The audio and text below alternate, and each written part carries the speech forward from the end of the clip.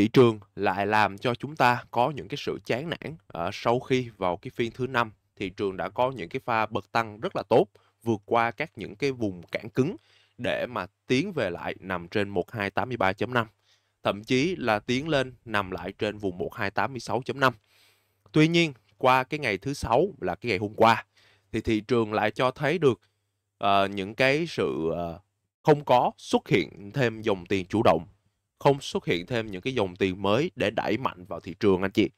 Vẫn là các cổ phiếu nhóm ngành ngân hàng một mình một ngựa không có được những cái sự luân chuyển dòng tiền giữa nhóm uh, bất động sản nhóm chứng khoán và cũng như là nhóm ngành thép. Làm cho thị trường của chúng ta là cuối phiên lại có những cái sự rung lắc. Liệu rằng phiên thứ năm có phải là một cái pha bull trap hay không? Hay đây chỉ đơn giản là câu chuyện của thị trường cơ sở chúng ta như thừa đề thumbnail em Hải đang để lùi một bước để tiến ba bước? Anh chị nhé Hello, xin chào quý anh chị nhà đầu tư. Chào mừng quý anh chị đã quay trở lại cùng với uh, video của em Hải sau phiên giao uh, sau phiên giao dịch vào tuần ngày hôm qua. Uh, một cái ngày cuối tuần thì em Hải cũng xin xin chúc quý anh chị nhà đầu tư có một cái cuối tuần thật là vui vẻ bên gia đình và người thân và có một cái tâm lý uh, thoải mái uh, nhất để chúng ta tiếp tục quay trở lại với thị trường vào tuần sau anh chị nhé. Anh chị đang xem video thì có thể để lại cho em Hải những lượt like, những trái tim màu tím cũng như là những lượt đăng ký kênh ITP Club Channel. Em Hải thì sẽ đăng video cũng như là livestream trên kênh khá là thường xuyên. À, cho nên là anh chị có yêu quý em Hải thì có thể để lại những cái lượt like cũng như là những cái phần bình uh, những cái uh, bình luận tích cực ở phía dưới anh chị nhé. Cảm ơn quý anh chị rất nhiều. Và như tờ đề thumbnail em đang để là lùi một bước để tiến ba bước và cũng như nhóm ngành chứng khoán thì còn kỳ vọng gì trong quý 4 thì ngày hôm nay chúng ta sẽ đi vào uh, uh, đi qua thị trường một chút xíu và sau đó cũng sẽ nói rõ hơn về nhóm ngành chứng khoán anh chị nhé. Bởi vì cho, trong giai đoạn vừa rồi thì chúng ta có thể thấy được là gần như nhóm ngành chứng khoán đang cho thấy trạng thái là sideways down anh chị. Tức là uh, nhìn chung thì so với lại phiên uh, uh, so với lại các ngày uh, hết cái tuần này thì chúng ta đang thấy được là một cái trạng thái là sideways down của các cổ phiếu nhóm ngành chứng khoán không cho thấy được những cái sự bật tăng anh chị. À, lạy rằng vậy thì dòng tiền nó đang uh, rút ra khỏi nhóm ngành chứng khoán hay sao? Hay đơn giản chỉ là đang chờ đợi uh, cùng với lại thị trường cơ sở tạo ra được uh, những cái pha trần tím ở trong giai đoạn sắp tới? Anh chị nhé rồi thì trước khi qua đó chúng ta sẽ đi qua một xíu về thị trường anh chị. Tại sao lại là lùi một bước để tiến ba bước? À, thì thật sự là trong cái phiên ngày thứ năm á à, thì tưởng chừng như uh, uh, trong phiên thì chúng ta đã thấy được tưởng chừng như thị trường đã có những cái sự gãy đổ uh, mạnh rồi à, có những lúc là chạm về tới cái vùng 1270.5 theo em nếu mà cái ngày thứ năm vừa qua thị trường mà mất luôn cả cái mốc 12 1270.5 thì lúc đó chúng ta sẽ thấy được trạng thái xấu hơn của thị trường anh chị nhé. Tuy nhiên sau khi mà chạm về gần tới 1271 đó thì chúng ta đã thấy được là thị trường đã bắt đầu quay trở lại và đánh lên trên rồi anh chị. À, cho thấy được rằng là vào cái ngày thứ năm gần như là cái ý chí của tạo lập đang cho thấy được việc là vẫn phải giữ được cái mốc 1283.5. Đấy cho nên á, là về cái việc mà thị trường có vượt 1.300 à, ờ, cái điều này thì cũng đã nói với quý anh chị nhà đầu tư trong 3 tuần và gần như hầu hết với quý anh chị nhà đầu tư là đang có những cái sự chán nản à, không nghĩ rằng thị trường sẽ vượt 1.300 và bây giờ 1.300 thì đang đi vào dĩ vãng. À, cho nên á, thì theo em á, khi mà thị cả thị trường không tới ai tin vào việc là thị trường vượt 1.300 thì lúc đó nó mới vượt anh chị nhé. Còn khi mà tất cả mọi người đều đang nghĩ vượt thì nó sẽ không làm như vậy anh chị. Đó cho thấy được rằng là à, khi mà cái niềm tin á, là chúng ta có đi thì chúng ta mới mua cổ phiếu vào. Và khi mà mua cổ phiếu vào anh chị thì điều này nó vô hình chung làm cho các đội lái hoặc là các tạo lập ở phía trên họ không có nhiều hàng anh chị nhé. Tại vì muốn thị trường mà đánh lên trên á thì ít nhất là hàng nó phải nằm trong tổ chức nhiều. Để à, để làm gì anh chị? Để khi lúc mà đánh lên á thì nó sẽ đánh dễ dàng hơn. Nếu mà hàng nằm trong tổ cá nhân nhiều anh chị thì chỉ cần đi lên một xíu là tự nhiên chúng ta sẽ xuất hiện cái cung hàng ra. Họ không thể nào kiểm soát được cái lượng hàng uh, họ không họ không kiểm soát được cái lượng hàng uh, cầu tồn động ở trong thị trường cũng như là cái lượng hàng họ đang nắm ở mỗi cái cổ phiếu anh chị. Đó thì điều này cho thấy được rằng là uh, phải cho mọi người chán nản hết mọi người bán ra hết thì lúc đó cái lượng hàng ờ, mà họ bán ra thì các tay to họ sẽ mua vào để làm gì anh chị? Để chuẩn bị cho một cái uh, nhịp đánh mới ở phía sau. Anh chị ha? Đó, thì em chia sẻ với vậy anh chị thì cũng một số anh chị cũng sẽ hiểu uh, câu chuyện của em hãy chia sẻ nha, một số anh chị thì không. Thì tuy nhiên theo em thì nó cũng không vấn đề gì hết. Uh, cơ bản thì chỉ cần anh chị đi uh, đồng hành cùng với lại anh em uh, trong cái phiên ngày hôm thứ năm cũng như là phiên ngày hôm thứ sáu thì cũng đã hình dung ra được cái câu chuyện là anh em đã chia sẻ rồi anh chị ha. Và ngày thứ năm gần như là trong room của anh em không có mất hàng nào anh chị không có mất hàng nào anh chị nhé. Một số các cổ phiếu á, thì nó đã chạm về những cái vùng stop loss uh, vào phiên buổi sáng thì lúc đó chúng ta mới chốt thôi anh chị chúng ta mới hạ thôi. Còn lại gần như các mã cổ phiếu mà không cho thấy những trạng thái stop loss thì anh chị anh em vẫn tiếp tục nắm giữ. Mặc dù mặc dù đã có những cái khoản lợi nhuận nha nhưng mà không chốt lời anh chị. À, không chốt lời vẫn đang tiếp tục nắm giữ nha và chưa mất hàng với các mã cổ phiếu đó. Rồi à, thì và cái ngày hôm thứ sáu thì anh em cũng đã có những cái chia sẻ với quý anh chị nhà đầu tư á, là những cái dư âm của phiên ngày thứ năm và còn. Và bắt đầu khi mà thị trường đã đánh vào cái phiên ngày thứ năm á, thì một số quý anh chị nhà đầu tư lại tiếp tục có những cái sự hồ hởi, à, có những cái sự hưng phấn, à, nghĩ rằng thị trường nó sẽ vượt 1.300 vào phiên ngày hôm uh, thứ sáu là ngày hôm qua. Tuy nhiên á, khi mà vào cái phiên ngày hôm qua thì à, thì à, à, anh Lâm, em Hải cũng như là em Thúy ở trên livestream thì cũng đang thấy được rằng là chỉ có nhóm ngành ngân hàng là tăng thôi. Ở các mã cổ phiếu nhóm ngành chứng khoán thì ờ, không có tăng anh chị. Cũng như là nhóm ngành ờ, bất động sản thì sau cái pha trần tím vào ngày thứ năm thì cũng đang có những cái sự rung lắc quay trở lại vào ngày thứ sáu. Thì điều này đang cho thấy được rằng là vẫn không có những cái sự lan tỏa dòng tiền anh chị cũng như là không có những cái dòng tiền để mà uh, giữ cho thị trường có thể tiếp tục vượt tăng lên.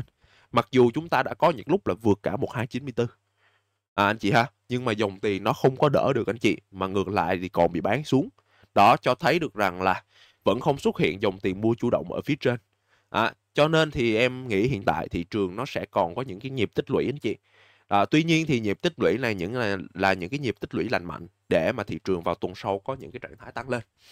Nhìn vào à, phân tích đồ thị à, kỹ thuật phương tây anh chị nhé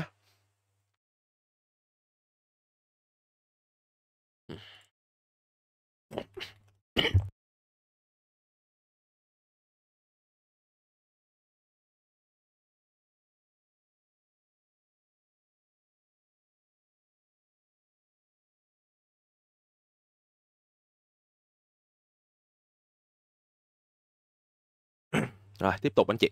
Nhìn vào à, phân tích biểu đồ phương Tây á, thì chúng ta đang thấy điều gì anh chị? Là chúng ta đang thấy á, là Ben đang cho thấy những cái trạng thái là bóp chặt rồi. Ben là đang bóp bóp thu hẹp lại rồi anh chị. Đó, anh chị nhá. Tức là gì? Tức là chúng ta sẽ thấy được những cái biến động mạnh hơn ở trong giai đoạn sắp tới của thị trường anh chị. Trong giai đoạn này gần như là cái biến độ bán, biên độ mà dao động của MACD cũng đang không lớn nè. Đó thì cho thấy được rằng là trạng thái của viên đắc hiện tại thì nó cũng đang tích cực thôi, uh, tích cực và nó đang cho thấy được rằng là uh, đang tích lũy chặt thôi và đang chờ đợi một cái điều gì đó anh chị nhé Đó. Thì nhìn về còn về còn về Ichimoku Trịnh Phát thì sao? À, nhìn về Ichimoku Trịnh Phát thì em đang thấy được rằng là có thể là vào đầu tuần chúng ta sẽ thấy được những cái sự rung lắc nhiều hơn ở quanh 1283 anh chấm 5 1283 anh chị nhé. Tuy nhiên anh chị phải lưu ý giúp em rằng là nếu mà anh chị nhìn vào trong khung đồ thị giờ của thị trường cơ sở thì anh chị đang thấy được rằng là trạng thái hai kiếm là Tenkan và Kijun bắt đầu cho thấy được những cái trạng thái là vẫn đang chập lại mạnh. Đó, tức là gì? Tức là hiện tại Tenkan và Kijun nó đang gần nhau anh chị nhé. Đó, Tenkan Kijun đang gần nhau tại vì cùng đỉnh cùng đáy. À, cùng đỉnh nè, đỉnh là ở 1294, à, cụ thể là 1294.1 vào phiên ngày hôm qua và đáy là 1271 12 1271.86 là đáy của phiên ngày hôm trước đó thì đang cùng đỉnh cùng đáy nè anh chị cho nên là cái uh, bắt đầu qua hai uh, uh, thì cho thấy được rằng là bắt đầu qua những cái tiếng tiếp theo á, là gần như gần như là trạng thái của uh, trạng thái của thị trường nó sẽ tích lũy chặt anh chị nhé đó, và ngoài ra nó còn thêm hai cái đường giao găm 129 uh, ờ, và giao găm 6 lông. Nó cũng sẽ chập lại với nhau ở một cái điểm. Anh chị, uh, theo em thăm minh thì là điểm đó vào cái ngày thứ ba. Anh chị nhé, vào ngày thứ ba thì nó sẽ có trạng thái là chập nhau một gần điểm. Tức là gì anh chị? Tức là trong khung H1 á là lúc này là bốn, à, hai dao và hai kiếm nó đang chuẩn bị gần nhau rồi anh chị. Mà trong mà H1 mà đang gần nhau như vậy anh chị nhé thì đang chứng tỏ là sẽ có một cái một cái nhịp gọi là biến động cực kỳ mạnh của thị trường cơ sở anh chị. Em chưa nói là biến động về chiều tăng hay là biến động về chiều giảm. Nhưng mà nếu mà kết hợp với lại Bollinger Band thì anh chị có thể thấy là cái biên của Bollinger Band nó còn đang bó hẹp dần anh chị nha. Đó thì cho thấy được rằng là trong ngắn hạn, tức là từ à, từ thứ ba à, thứ ba tầm thứ ba thì chúng ta sẽ thấy được những cái biến động mạnh hơn của thị trường anh chị nhé Đó, thì lúc đó thì uh, uh, em thì Hải vẫn đang kỳ vọng về một cái nhịp là vượt 1303 à, theo kỹ thuật đúng thì sẽ là 1303 anh chị nhé đó và và khả năng thì khả năng mà xác suất vượt á, thì nó vẫn sẽ cao hơn là breakdown anh chị. Bởi vì trong giai đoạn hiện tại với tình hình vĩ mô của chúng ta thì em Hải vẫn đang kỳ vọng về một cái câu chuyện là thị trường nó sẽ vượt anh chị nhé à, và điều kiện là gì? Thì nãy anh anh chị mà có chú ý à, em Hải chia sẻ hồi nãy á, thì em Hải à, anh à, em Hải cũng đã nói với quý anh chị là gì? Là uh, không không nên là một uh, không nên nhóm ngành ngân hàng là nhóm ngành tăng chủ chốt anh chị. Mà nhóm ngành tăng chủ chốt đó chính là nhóm chứng khoán nhóm bất động sản và nhóm thép. À, anh chị nhá nhóm thép. Thì uh, uh, ngân hàng là gì anh chị? Ngân hàng sẽ là cái mỏ neo là cái nơi mà giữ điểm chỉ số anh chị. À, khi mà có rung lắc thì ngân hàng sẽ có những cái mã cổ phiếu để hỗ trợ đỡ điểm chỉ số cho thị trường anh chị nhé đó còn nhất thiết là trong giai đoạn sắp tới là tiền không nên vào nhóm ngành ngân hàng anh chị. Trong khi nhóm ngành ngân hàng cho thấy những cái sự tích lũy với biên độ hẹp dần. Anh chị chú ý nha với biên độ hẹp dần thì uh, tiền nó sẽ ngắn hạn nó sẽ chuyển qua các cổ nhóm ngành xung quanh để mà nó tăng lên uh, để mà đi kịp với lại các cổ phiếu uh, nhóm ngành ngân hàng anh chị. Trong giai đoạn vừa rồi nhóm ngành ngân hàng nó tăng quá nóng rồi ha? Và anh chị chú ý là phải biên độ hẹp nha. Chứ ví dụ với trường hợp của các mã cổ phiếu như là uh, TP Bank nè thì hoàn toàn đây không phải là những cái nhịp mà tích lũy tốt của TP3. à, biên độ đang cực kỳ lớn nè hay là cổ phiếu STB nè. À, biên độ cũng đang cực kỳ lớn nè mặc dù là có trạng thái là cứ break out rướng lên trên nè.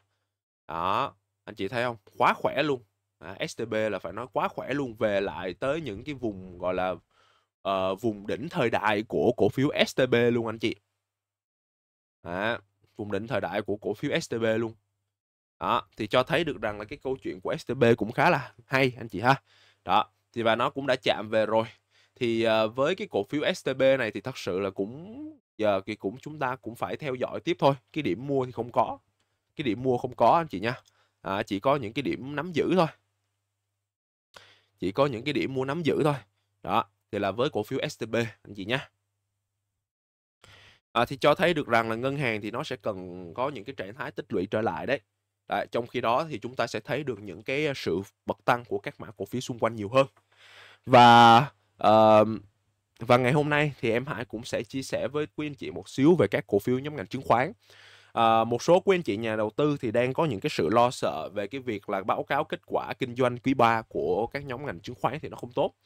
Thì uh, qua cái video này thì em Hải cũng sẽ chia sẻ với anh Quỷ một uh, uh, quý anh chị một xíu về uh, uh, về lý do ha chị ha về lý do uh, mà các uh, mã cổ uh, các nhóm ngành chứng khoán á, thì nó có cái khoản lỗ uh, so với lại năm ngoái anh chị ha. Đó thì uh, trong đoạn vừa rồi thì em Hải đã chia sẻ với anh chị về các mã cổ phiếu bất động sản rồi. Thì các mã cổ phiếu bất động sản thì đã quay trở lại trần tím vào phiên ngày thứ năm uh, xác nhận được là uh, đó là một cái nhịp rũ bỏ rồi anh chị ha. Thì chúng ta sẽ không nói lại về các cổ phiếu bất động sản nữa. Uh, thật sự thì nó cũng chưa bỏ rơi chúng ta à, vào thứ sáu thì nó cũng đang có những cái sự rung lắc trở lại cho nên là anh chị nào mà chú ý về bất động sản thì vẫn có thể là uh, chú ý những cái điểm mua anh chị nhé à, bất động sản thì vẫn đang xuất hiện điểm mua cho quý anh chị nhà đầu tư. Còn những cái điểm mua nó thế nào anh chị đang muốn mua cổ phiếu nào thì các anh chị nhắn với em Hải nha. Em Hải sẽ hỗ trợ cho anh chị điểm mua điểm bán về các mã cổ phiếu đó.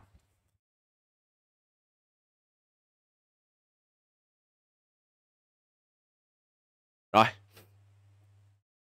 À, tiếp theo về nhóm ngành chứng khoán thì uh, thông tin vào buổi sáng uh, buổi sáng ngày hôm uh, hôm thứ năm là cập nhật là số liệu công ty chứng khoán chiều nè là TCBS khoản lợi nhuận quý 3 à, nhiều công ty thì đồng loạt báo lỗ. Đó thì TCBS thì cho thấy là lỗ 4% đó các mã cổ uh, VS thì có tăng lên 31% Rồi có một số các uh, có một số các công ty chứng khoán khác thì là lỗ. Nếu mà nhìn vô cái bảng báo cáo này anh chị thì gần như là đang cho thấy có những cái khoản lỗ anh chị nha. Đó, gần như thì cho thấy là có những cái khoản lỗ. À, vậy thì tại sao lại là như vậy? À, trong cái giai đoạn vừa rồi thì anh chị cũng có thể là uh, nhớ lại nha. Đấy thì em bật lại cho quý anh chị nhớ nè. Rồi, ở trong một cái giai đoạn vừa rồi nè, à, nếu mà tính vào quý 3 năm 2023 đúng không? Thì có phải là thì có phải là từ đây không? Đây. Quý 3 02 2023 là chúng ta có một cái giai đoạn uptrend hơn 200 điểm từ cái vùng là uh, từ cái vùng là một uh, từ cái vùng là 1030 à, lên tới cái vùng mà 2000 1260 anh chị hơn 200 điểm. À, sau đó thì chúng ta có một cái giai đoạn là điều chỉnh à, điều chỉnh trở lại nè từ ngày 9 tháng 10 cho tới ngày 11 tháng 10 và sau đó tiếp tục có những cái trạng thái bật tăng lên. Đó. Thì ờ, cho thấy được rằng á là trong cái quý 3 vừa qua ở 2023 á, thì nhóm ngành chứng khoán có những cái khoản lợi nhuận rất là tốt bởi vì là thị trường chúng ta đã có những cái sự xanh điểm ha. Và trong một cái cả một cái quý đó luôn từ thư thờ từ tháng 5 cho đến tháng 9 luôn anh chị. Từ tháng 5 cho tới tháng 9 luôn. Đó, thì chúng ta thấy được rằng là là nhớ các cổ phiếu các nhóm ngành chứng khoán thì là thay nhau là báo cáo là lãi hết. Đó. Thì uh, qua tới uh, qua tới quý uh, quý 3 năm 2024 thì chúng ta thấy gì anh chị? Chúng ta thấy gần như là thị trường đang có những cái sự uh, siết biên lại ở trong khung độ tỷ tuần anh chị nhé, siết biên lại nè và sideways ở trong giai đoạn từ uh, 1200 cho tới cái vùng là 1000 uh, 1300. Đó anh chị nhé, là siết biên trở lại. Đấy, thì uh, quyên cả một cái giai đoạn năm nay gần như là khá là ảm đạm khá là ảm đạm uh, những cái đoạn mà chúng ta có thể là uh, có sóng thì nó không có sóng của nhóm ngành chứng khoán nhiều như là trong giai đoạn 2023 mà là sóng đến từ nhóm ngân hàng hay là sóng ờ, đến từ các uh, cổ phiếu về khu công nghiệp. À, anh chị ha. Đó thì um, đó là lý giải cho cái việc là chúng ta thấy được là cái số liệu báo cáo tài chính quý 3 của các mã cổ phiếu nhóm ngành chứng khoán à, trong năm nay thì nó không được khởi sắc. Tuy nhiên thì à, như từ đề thumbnail em để thì là kỳ vọng gì vào quý 4? Thì thật sự là có rất nhiều những cái sự kỳ vọng ở trong quý 4 này với các cổ phiếu nhóm ngành chứng khoán anh chị nhé. Bởi vì một cái điều rất là đơn giản thôi. Nếu mà anh chị nhìn vào uh, trong các khung đồ thị của các cổ phiếu nhóm ngành chứng khoán thì anh chị sẽ thấy được một cái điều rằng là gì? Chính xác luôn anh chị. Đó chính là việc mà tích lũy rất là chặt của các cổ phiếu nhóm ngành chứng khoán rồi. Tức là giờ chỉ có hai thứ thôi. Nếu mà cơ sở breakdown thì cái mát mã cổ phiếu chứng khoán này cũng breakdown theo. Nếu mà thị trường cơ sở là breakout thì các mã cổ phiếu chứng khoán này cũng sẽ breakout theo.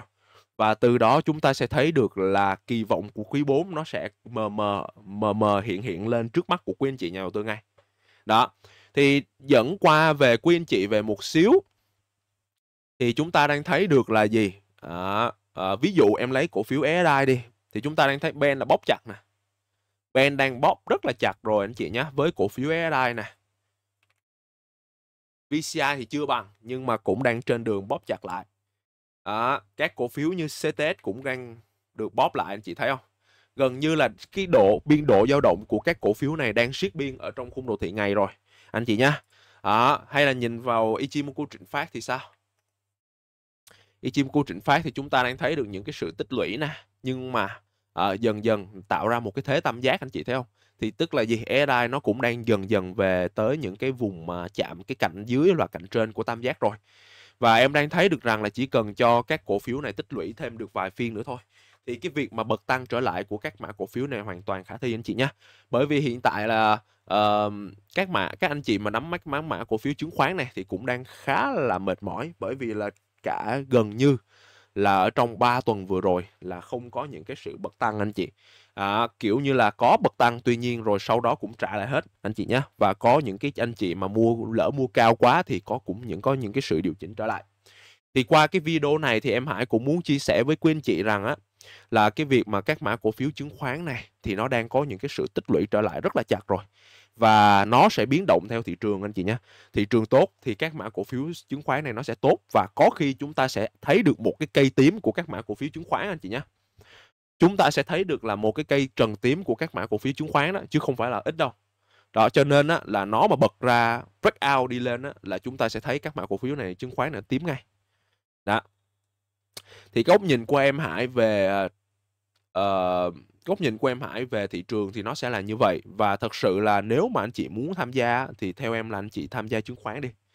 Vào uh, các phiên đầu tuần á nếu mà nó có những cái sự rung lắc á thì anh chị có thể vào anh chị nhá. Theo em là khả năng mà anh chị có ăn rất cao đặc biệt là với cổ phiếu SI này.